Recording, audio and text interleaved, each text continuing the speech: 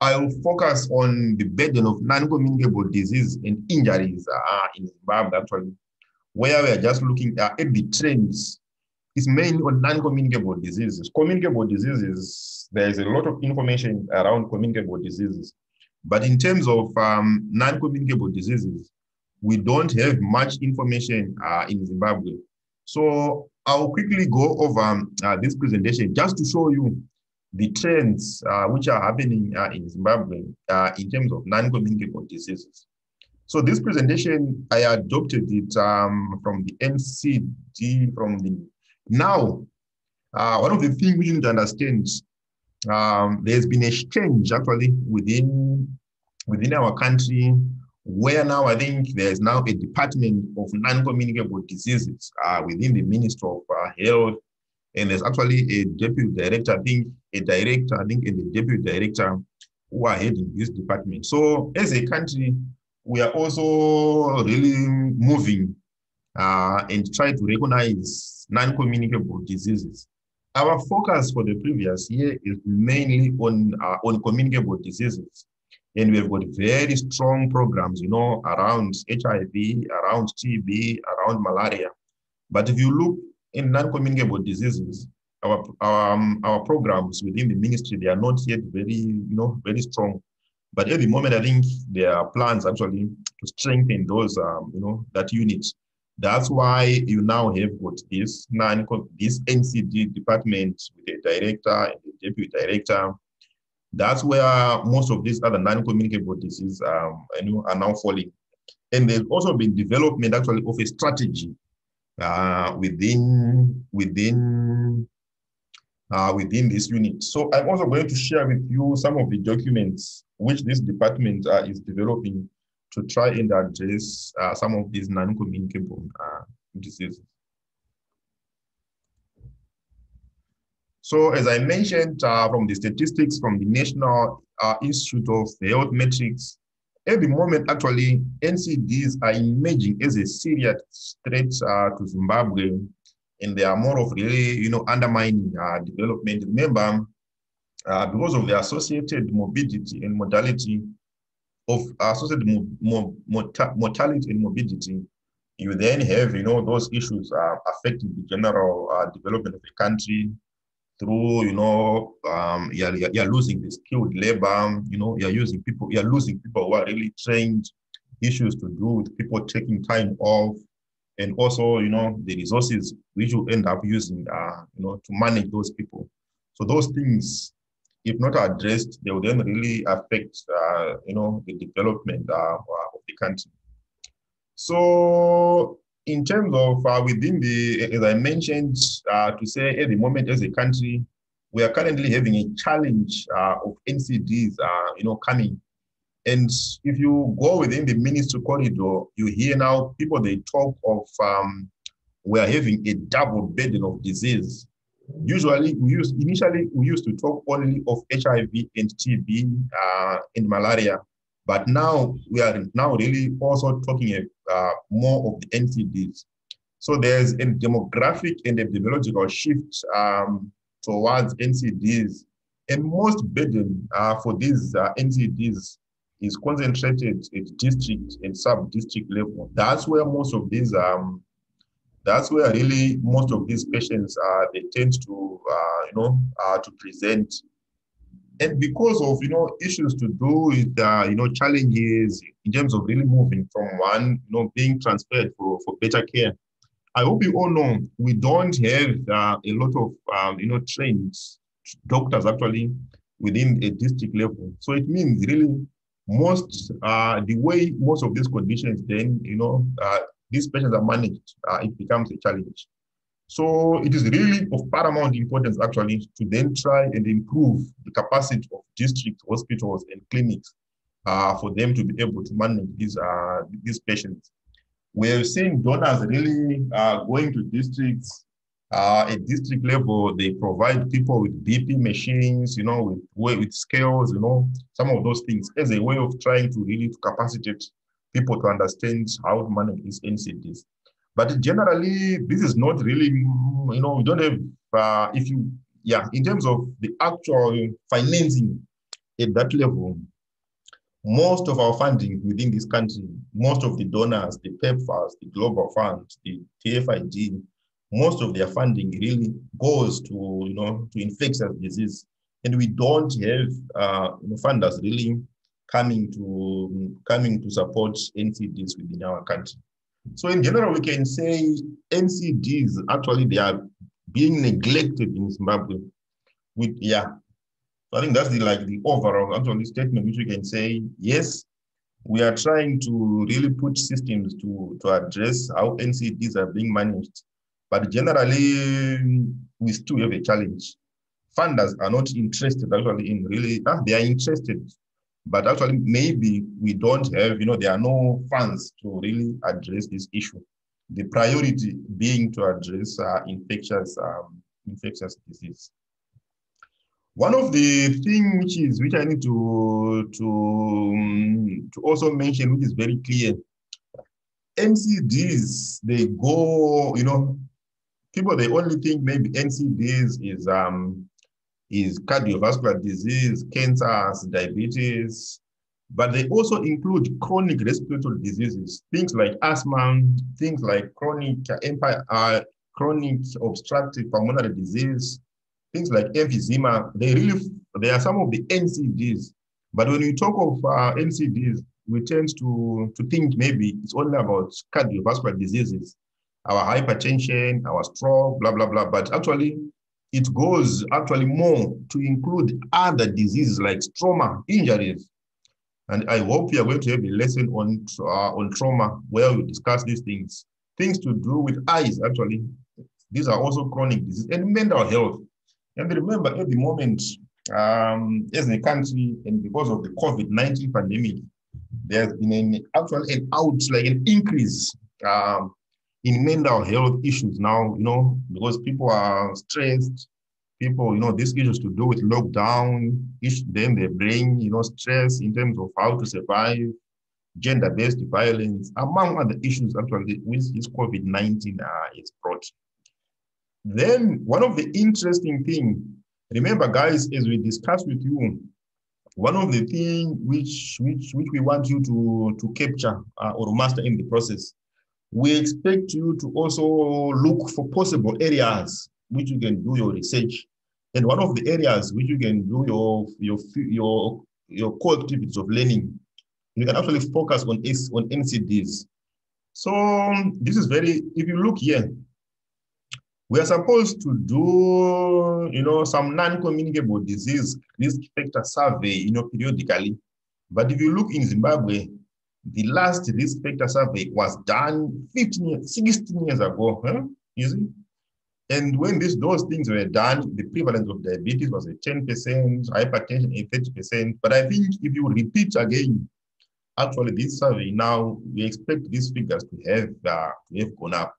So the challenge actually, which we have mainly with the NCDs, we don't have recent data we don't have the recent data looking into NCDs. And actually, within your district, as part of the project, it will be really interesting if you can also really remember the whole purpose of the field epidemiological program is to bring um, data and evidence to the Ministry of Health so that that data can assist in, uh, you know, in making policies. So you guys, if you one of you is interested, you can actually do this as part of your um, your, your thesis, your dissertation uh, for MPH. So yeah, make sure as you attend your lectures, the NC, for the various modules, we are really trying to see uh, the potential, the potential um, topics which you can, um, the potential topics which you can, uh, which you can conduct your, uh, uh, and your research uh, based on. So I'll then show you a few of the graphs which has been showing, which have been developed by the NCD unit in terms of showing the trends. So this is 1990 and this is 2018. So in terms of the burden of disease, if you look in 1990 injuries, they constitute 6%. Then in 2018, they constituted 9%. Then communicable disease in um, 20 years ago, they constituted around 24%. But in terms of the burden, if you see now in 2018, there's been a huge increase uh, in terms of the burden, which is being caused by non-communicable disease to 33%, almost like a 10 a 10% increase. Then there's been a gradually a decrease uh, in non-communicable uh, in communicable diseases, your maternal, your and, and, and, and, others, and all those other um, issues. Now they used to have 69% caused by communicable disease, but now they, there's a decrease um, you know, to around 50%. So the message, guys, is there is a shift, uh, you know, where the burden of non-communicable disease is increasing as compared to, to the previous uh, uh, period. So in terms of deaths, so this is the previous slide. I hope you know this. I'm not going to go in detail to explain this, but as your homework, make sure you understand the meaning of DALYs and the meaning of. And what are DALYs? What are QALYs? How are they measured? But usually these are parameters which are used to measure, you know, um, the burden of a disease. So make sure you read these things to understand them. Otherwise, yeah, I will not really take my time to, to explain these things, but I expect after the lecture, you understand that. Then in terms of deaths, um, in terms of deaths, uh, 2018 injuries 9%, non-communicable disease 33%, and most of the deaths actually they are due to um, communicable um, communicable disease.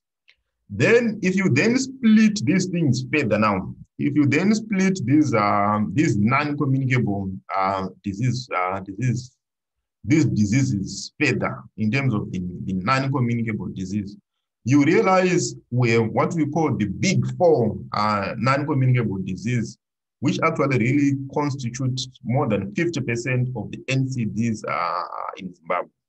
So you realize most of our, um, yes, we have got these other things, are substance abuse, neurological, mental, blah, blah, blah. But most of our, um, our, our NCDs uh, we've got cancers. They constitute 12%, followed by cardiovascular diseases. Remember, cardiovascular diseases, this is your hypertension, your stroke, and this, uh, your myocardial infarction, all those things, they fall under, under cardiovascular disease, followed by this. Then you have respiratory diseases, the chronic ones, your, um, your COPD, chronic obstructive pulmonary disease, your emphysema, they follow here.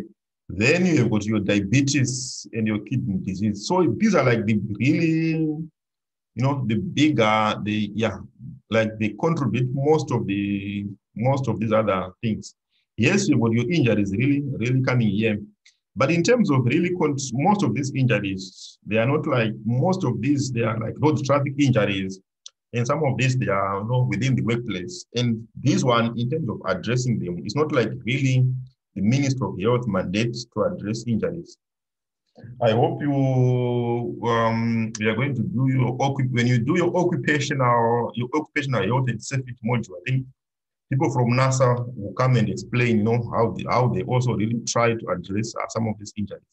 So it's not like really a Minister of Health alone issue to deal with injuries, but there are also, you know, issues to do with um, issues to do with road traffic accidents, there were the traffic, the traffic, whatever, the traffic and safety council of Zimbabwe, all those, uh, no, they're really involved. So this one is more like a, a, a mount, is a mount, you know, a mount stakeholder issue as opposed to the highlighted four. Though it is most of the, um, most, though it is the higher, um, uh, the higher percentage. Then, as I saw in terms of, um, if you look uh, trend now. Remember, you have got your, your, your, your, there's a legend here, which is showing communicable disease, NCDs, and injuries. So if you look in terms of age now, uh, the DALYs, uh, which are lost by, uh, uh by NCD, you realize for the early, you know, for the early age, uh, you know, like uh, before, before five years, most of the DALYs uh, due to NCDs are caused by what are caused by communicable, uh, communicable, you know, maternal and neonatal uh, diseases. But as you as you move now with age now from you know uh, with age, remember we discussed one of the risk factors for non-communicable disease as age. As you move with age, you then realize that you then realize that um, here now most of the DALYs to non-communicable diseases. And if you go, you know, people were above who are above 40 years and you start going blah blah blah, you know, you, you tend to have more of the NCDs uh, and it's more of the NCDs um, and fewer of the non-communicable disease uh, happening there. Then uh, in terms of deaths, it's the same pattern here. Most of the deaths which happens early on, you know, you have got your neonatal sepsis, all those things, you know, happening all, you know, early on, your pneumonia, whatever. They really cause most of the deaths um, uh, during the early years, which are not non-communicable. If you've got communicable disease causing deaths here, most of them, they're those congenital, really, you know, abnormalities, you know, where people are born with. So that's, but most of the infections here is due to what is due to communicable disease. But the same trends now with death now as you go, you know, at around age 40 years now, that's when you start to have more of the non-communicable disease really contributing what contributing to uh, uh, to deaths then it's the same again. You know, this is the list of um of cardio of non-communicable disease and the deaths which are caused by each of those uh, with age. So you see, most of our deaths here within our country, they are caused by cardiovascular diseases, where we put more, you know, and the same pattern again of these of the cardiovascular diseases, followed by green. This is diabetes, the chronic reticulocyte disease and your diabetes, you tend to have more of this with age.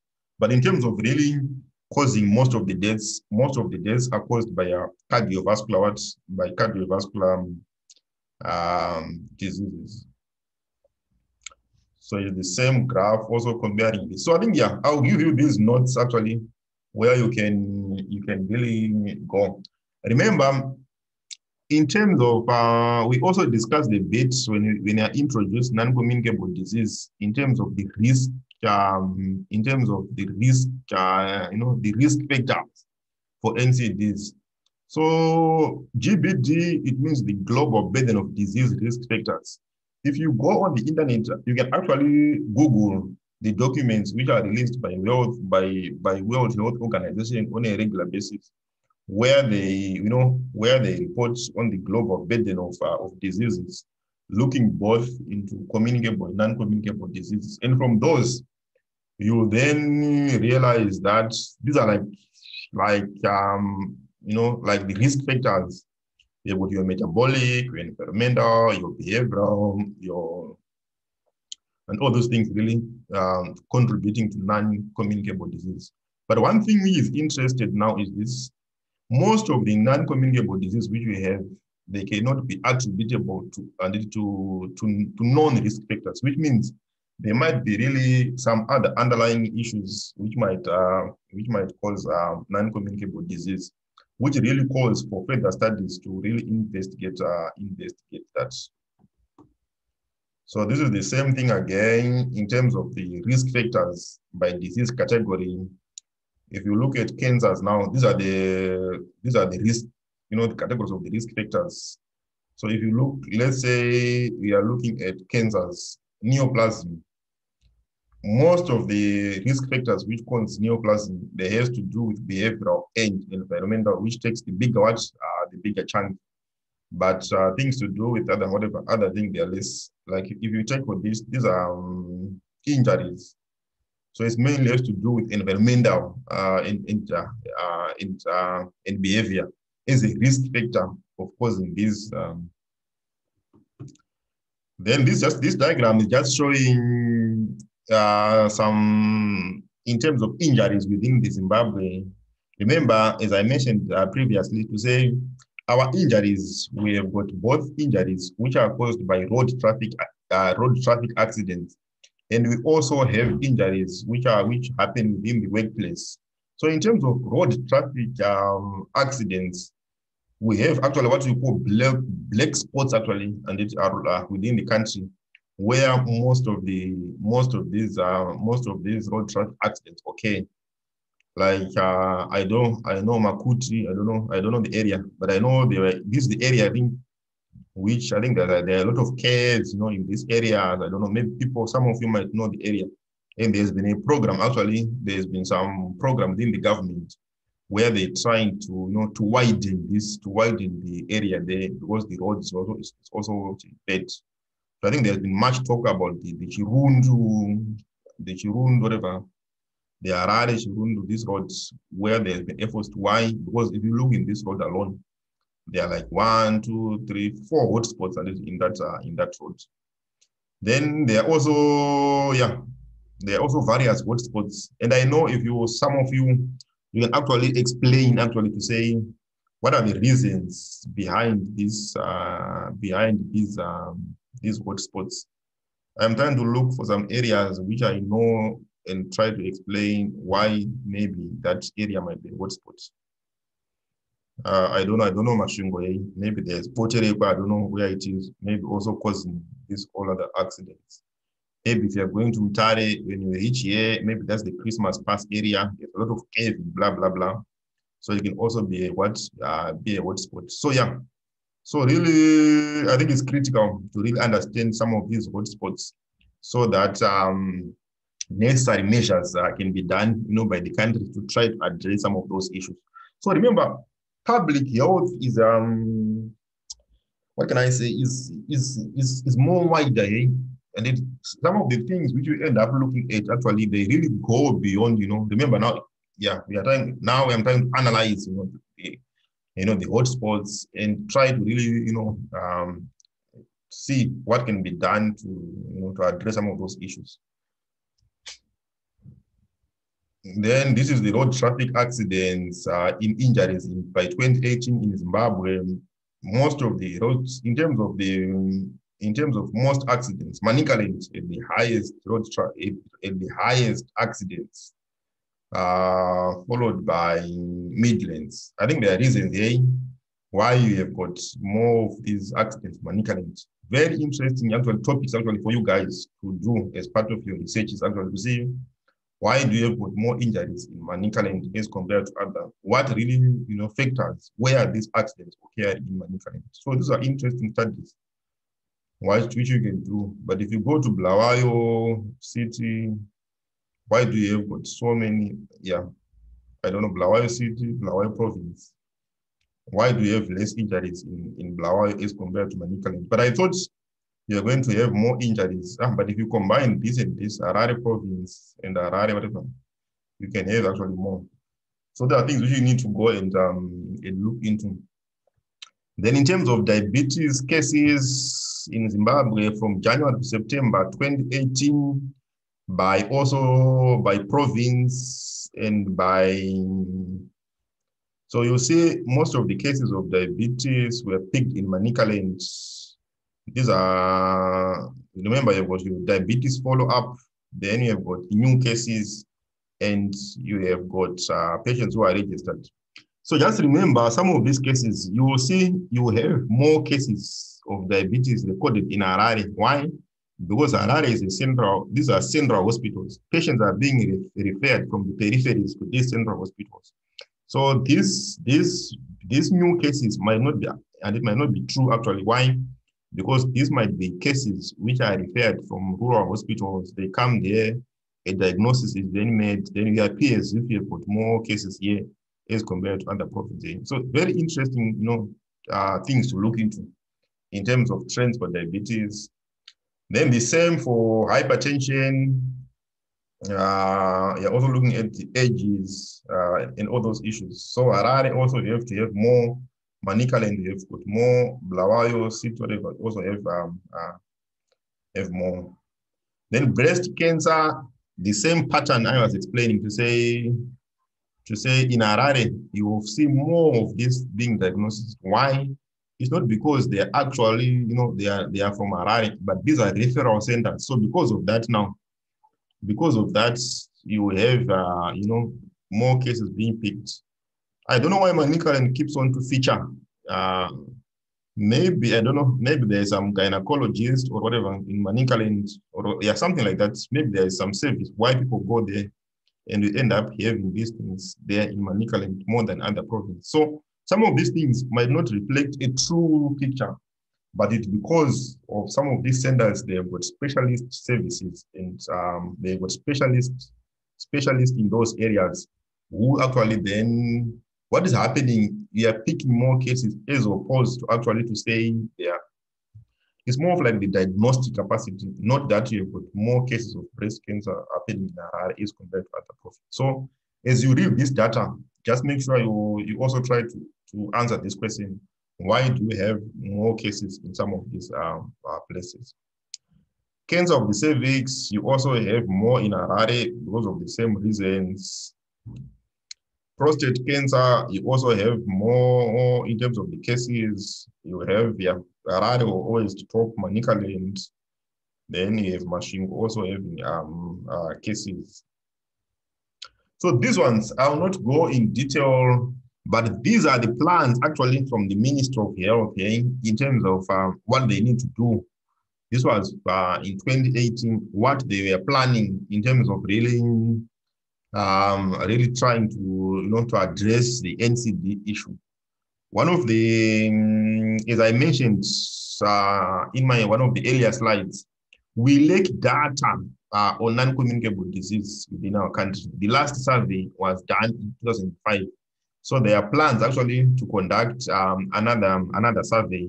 I am not sure the progress to, to date, but last year I know there have been issues to, there have been plans to really engage the World Health Organization to get funding and also write a protocol, you know, a, a, research on how to do these things so that another survey can be uh, can be conducted. I will check and update uh, the progress. Then there's been much talk um, about um, about cancer. Uh, really, I will share with you the uh, the cancer strategy. And there's a strategy which was developed to try to address uh, to address uh, to address cancer and also there are issues to, to make sure we have got a cancer um, uh, a cancer forum where people they you know they meet on a quarterly basis to try and um, and address uh, and, uh, and discuss cancer issues. I hope you you know the same thing we should do in uh, in HIV programs and TB programs, where we've got these quarterly review meetings, partnership forums where we discuss HIV and TB issues. So the same actually should start happening uh, for some diseases like uh, like cancer. But one of the things which I've also noticed, which which have happened um, in terms of funding. I remember some time back, the National AIDS Council actually was also starting to fund, you know, to fund cancer. Why? Because uh, most of the cancers, um, I didn't give the statistics, but maybe when we discuss it later, they are caused by HIV. So because of that, the AIDS levy actually has been used uh, of late to try and also um, address uh, some of those cancer uh, issues. Then there are plans to develop and distribute guidelines to health facilities. Remember, I mentioned this. In terms of the capacity, actually, as a country to manage NCDs, uh, we don't, you know, I'm not sure if they are now available, but as of last year, there were no guidelines actually on how to, you know, like, you know, the, the reference material. Yes, we always have our EDLIZ, but you know, if you go for HIV, they've got for TB, they've got so many of these detailed guidelines, which looks into, you know, step by step, giving healthcare worker the information, you know, the how information on how to manage some of uh, some of those uh, some of those conditions. So yeah, the same actually, we expect the same to to happen for you know for other um, for other you know for other um, conditions for for NCDs. But I think I think I think the whole issue really comes to you know to funding, where you know if you've got resources and funds, you should be able really to have some some desk, you know, some desk job aid, which a healthcare worker can refer to uh, how to manage uh, hypertension. And remember, some of the mostly, if you check, I think there was some study, I'll try and look for it where one of the researchers, they looked into um, whether people were following guidelines in the management of hypertension uh, within Zimbabwe. So when they did that study, I think there was a lot of really, you know, people are like really managing the hypertension, you know, the way they think, you know, they don't like really follow the guidelines with which which one is the first line, which one is the second line. So because of that, actually, it then becomes necessary to have guidelines which actually can assist healthcare workers in a step-by-step, uh, you know, how to the choice of these drugs. So very interesting study also to really look, actually assess how some of these conditions are being managed. Are people following guidelines in terms of diabetes? Are all people, you know, like, uh, you know, the first line, the second line? But if you really trace it, you see a lot of issues in terms of how patients are being managed, where people, they end up getting maybe third line drug, they're getting for first line, but there's no actual indication whether they do not do well on the first, or someone just goes straight to the third line drug. This is very common in uh, in private practice. Eh? If you go to GPs, I think people they yeah, people they tend to like these fancy drugs, you know, and they then think uh, you know people are being treated, but at the same time, that's not really recommended. Actually, you need to have a stepwise following up um, um, uh, of the, the guidelines. Then some of the things uh, which the ministry has been planning to do is to develop a diabetes program. Then, but I think for diabetes, it's a with the ministry, yes, we've got the Diabetic Association, which the deputy minister I think is uh, is very you know involved in, which is good.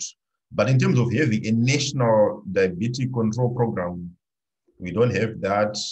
Palliative care we this if you have with palliative care, we have with the, your hospice, your island hospice actually really managing this thing. But I think this should be really mm, part you know, of the primary health care delivery uh, delivery system. And also there's also really misconception, you know, about the meaning of palliative care, where really people think palliative care is all about those, you know, is all about those who are dying, those with cancer, blah, blah, blah. Actually, palliative care applies to almost all, you know, most of the diseases. And it has to start as soon as the diagnosis, uh, and it, as soon as the diagnosis of, of, a condition is made. In our series of lectures, we are supposed to have a, lecture, we are supposed to have a lecture on palliative care, but in the files, in the folders I'll give you, make sure you look into these um, you know, issues to do with palliative care and understand them because um, we really need palliative care in terms of addressing uh, some of the communicable disease. Then the National Cancer Registry, remember, most of the statistics which we get, um, which we get, um, which we get, which we get uh, about cancer, they are recorded in the National Cancer Cancer Registry. So there are plans uh, to make sure uh, that registry is really is up to date and is providing recent um, recent information. Then, as I mentioned from the start, there are also plans to strengthen the national the NCD department. One last year, I remember I was talking to the to, one of the directors there. I think there were issues there in terms of staffing within the NCD department. You know, you can have a department where they say we have got a national NC department, we have got a director, you have got a deputy director. But if you look to the number of staff, maybe they are less than five or something like that, which doesn't really make it doesn't really make a lot of uh, a lot of sense. So yeah, you can be a director of two people, you know, or you can be a director alone with your secretary. Then if you then go to district province level, district level, you don't have structures, you know, you don't have NCD structures. So how then, you know, you then expect actually to, to really run a program which is only an office at head office, but if you go to province, if you go to districts, there's nothing. So I think some of those issues, eh, uh, I know some of you very soon might be PMDs, might be whatever, uh, working within ministry hierarchy make sure you also really move and try to address um, uh, some of those issues. Then there were plans to establish an NCD interministerial task, task force. Uh, yeah, this I remember, I think we always have challenges within our country to try to make sure some of our dreams materialize.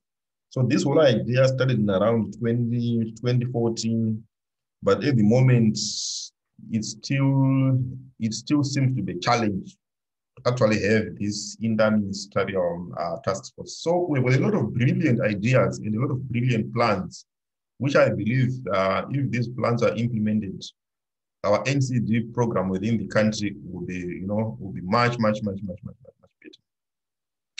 Otherwise, this brings me to the end of my end of the, the lecture.